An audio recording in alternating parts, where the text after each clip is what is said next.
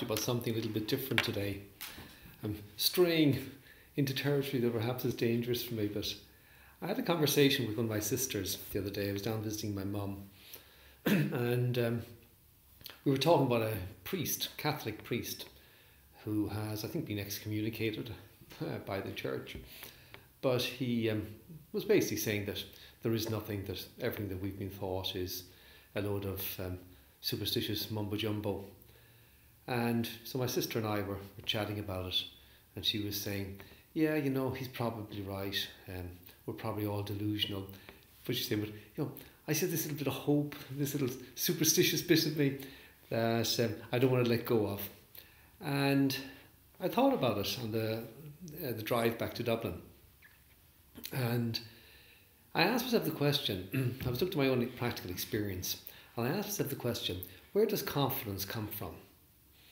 And um, it struck me that in my own personal experience, when I have accepted that there are things going on that I don't understand, um, when I have believed that there's some order and structure um, to the universe, that and, and allowed things to be as a consequence, accepted what is, and allowed things to be as a consequence, that I've been much more able to act. I've been much more powerful in my capacity to accept, to deal with, to move forward, to um, be strong, be resilient.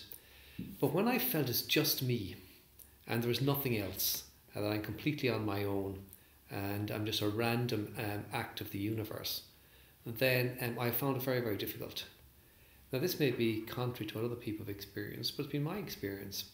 And so I've come to a conclusion, and here's my little insight. Um, maybe there is, maybe there isn't something more than us.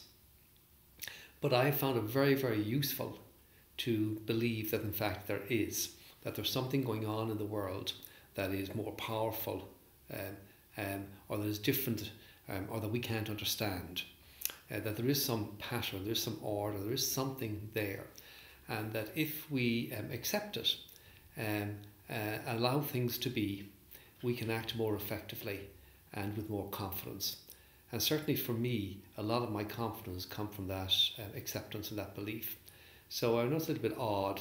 I'm a little bit off my, my usual type of insights, but it just strike me quite forcibly on the drive back up how important that is to me in terms of me having confidence and having the capacity to go forward and do things. I thought I'd share it with you. Do with this, do with this, as I always say, as you will.